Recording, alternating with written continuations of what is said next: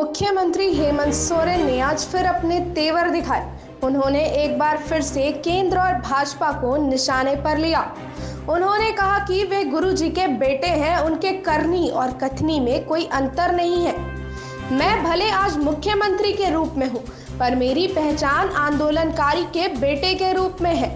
ये पहचान मेरी सबसे बड़ी पहचान है। पता नहीं मेरे प्रतिद्वंदियों को उनसे क्या परेशानी है। जब चुनावी राजनीति में नहीं सके तो अब केंद्रीय जाँच एजेंसियों के माध्यम से उन्हें काम करने से रोका जा रहा है। उन्होंने फिर केंद्र को निशाने पर लेते हुए कहा कि आज़ादी से आज तक खनन के बकाए केंद्र के पास है। एक लाख छत्तीस हज़ार करोड़ बकाया है। अगर केंद्र एक बार इतनी राशि दे देगी तो वह सड़क पर आ जाएगी। ये बातें आज सीएम ने प्रोजेक्ट भवन में आयोजित झारखंड आंदोलनकारियों के चिन्हितीकरण को लेकर आयोजित एक कार्यक्रम के दौरान कही। कार्यक्रम में झामुमो प्रमुख शिबू सोरेन, कृषि मंत्री बादल पत्रलेख, विधायक सुदिव्य कुमार सोनू सहित कई अफसर मौजूद थे। कार्यक्रम में जो आंदोलनकारियों को एक नए सिरे से सूचीबद्ध करने की एक सफल प्रयास के इस मुहिम में शामिल हुए आप, पूरे राज्य से आए हुए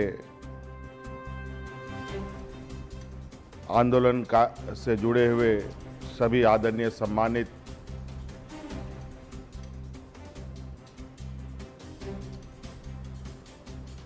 सदस्यगण आप सबको मैं अपनी ओर से, तहे दिल से आप लोगों का आभार प्रकट करते हुए जोहार करता हूँ। कठिनाई बारी भरी रास्ते से चलकर ये राज हमें मिला है, ये आपको हमें बताने की आवश्यकता नहीं और हमको लगता है कि आदरणीय गुरु जी ने जब इस राज को अलग करने की बात कही थी तो इस राज के लोग इनकी बातों को हँसी में उड़ाते थे कि क्या यहाँ का आदिवासी, यहाँ का मूलवासी राज ले पाएगा। देश में कई राज्य बने, कई राज्य अलग हुए। लेकिन मैं समझता हूँ जिस तरीके से इस भारत देश की आज़ादी की कहानी है, उससे कम इस राज्य की आज़ादी की कहानी नहीं बतौर मुख्यमंत्री के रूप में मैं आपको संबोधित कर रहा हूँ। यह मेरा सौभाग्य की बात है। लेकिन मेरी पहचान एक आंदोलनकारी के सुपुत्र होने का है। और इससे बड़ा पहचान और कोई नहीं और आज आपके हक, हकूक की चीज़ें आप तक कैसे पहुँचे, ये मैं लगातार इस विषय पर चिंतित रहा हूँ। एक तो सरकार बनने के बाद कोरोना हमारे झोली में आया, दो ढाई साल तक यूँ ही तड़पते रहे हम लोग। और आज जैसे हमने अपनी रफ्तार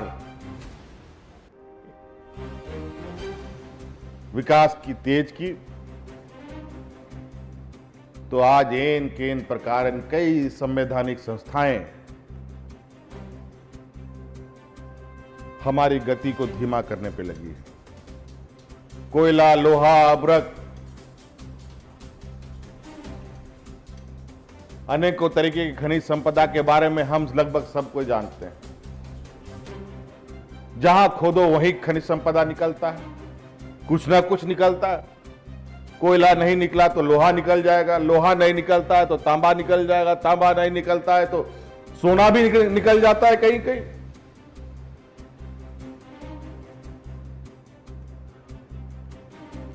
ये हालत है हमारे राज्य में, लेकिन हमारे राज्य के लोग आज के दिन में भी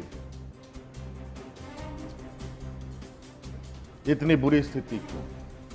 उसके अंदर जड़ तक जाके देखा हमने तो पता चलता है, और देखने के बाद जो आंकड़े उभर के आते हैं, पहली बार सुनने के बाद तो दो मिनट के लिए हमको भी अंधेरा छा गया।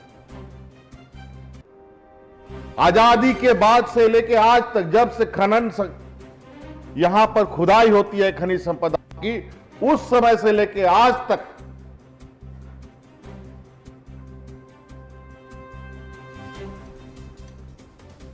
सरकार के कई, भारत सरकार और एजेंसियों के कई बकाए बाकी हैं, जो दूसरे राज्यों को तो मिलता है, लेकिन झारखंड प्रदेश को नहीं मिलता।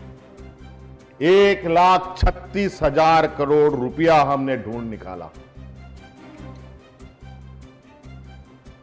मुझे लगता है जब इस राज्य में खनिज खनिज की खुदाई हो रही है, उन खनिजों से जितना हमें लाभ नहीं मिला, उससे कहीं नहीं, कहीं ज़्यादा हमारा बकाया निकल रहा। है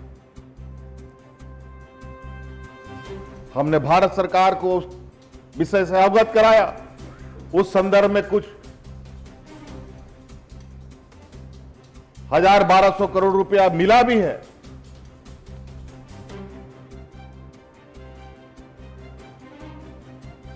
मैं तो कहता हूँ, एक लाख तीस हज़ार करोड़ भारत सरकार को भी अगर वो एक बार में दे दे तो भारत सरकार सड़क पर भीख मांगते हुए नज़र आएगी, बता देते हम बोले, एक लाख तीस हज़ार, छत्तीस हज़ार करोड़ रुपए मत दीजिए। हमको उसका इंटरेस्ट ही दे दीजिए। उसी से हम राज्य सरकार को उस जगह पर पहुँचा देंगे जहाँ आज बेंगलोर और हैदराबाद है।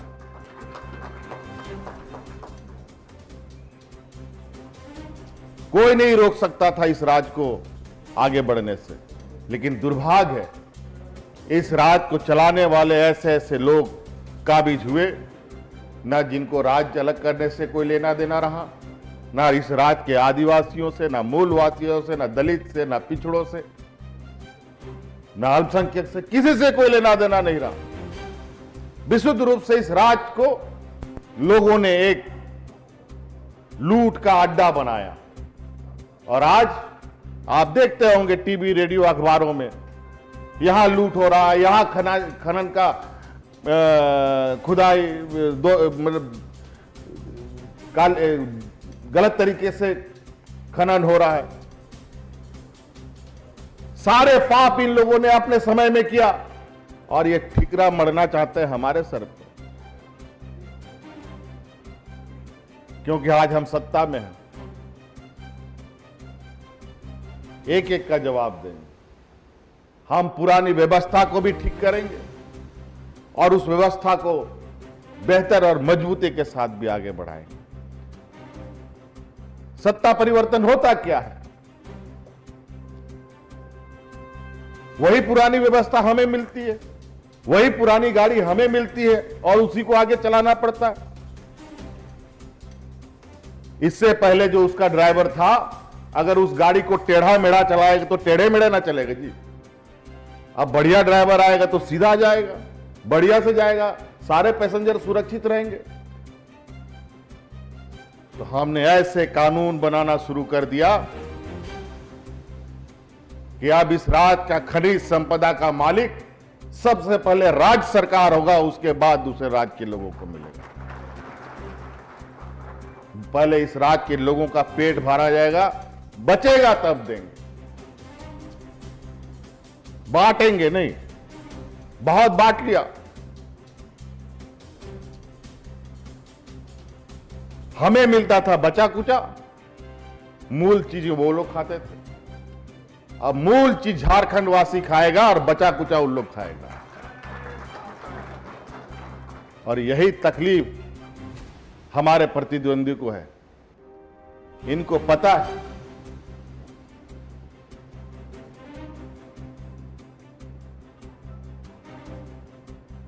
कि ये लड़का अगर कुछ दिन और रह गया सत्ता में तो शायद आने वाला समय इस राज्य का हर एक व्यक्ति हर एक गाँव इस तरीके से लहलहाएगा। इतनी खुशियाँ गाँव में होंगी कि वहाँ पर द्वेष फैलाने का जगह नहीं रहेगा। झारखंड सबसे शांति प्रिय राज्यों में से एक। यहाँ लोग